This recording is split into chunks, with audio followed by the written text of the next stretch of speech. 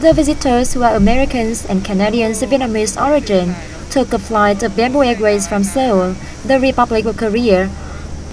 After their arrival, the tourists were transported to a lodging facility in Nha Trang and tested for the coronavirus.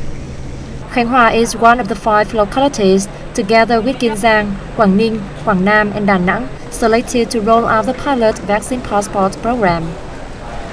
The program is divided into three phases starting from this November.